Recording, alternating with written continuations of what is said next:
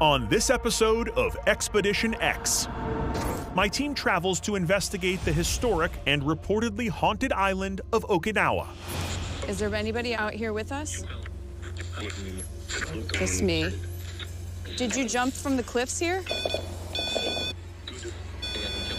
Yeah, I was killed. What you got? I think we got a tomb. Where countless souls perished during World War II, and where locals think many of those restless spirits may still linger. Whatever attached itself to me was wanting to escape the cave. So it could leave with you.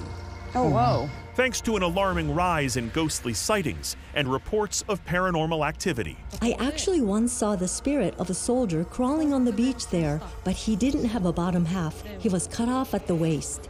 But as Phil and Jess probe for answers, they soon learn the hard way why this place is known by some Oh, Phil? Yeah, Right behind yeah. you. Don't move, don't move. as the Island of the Dead. Hello?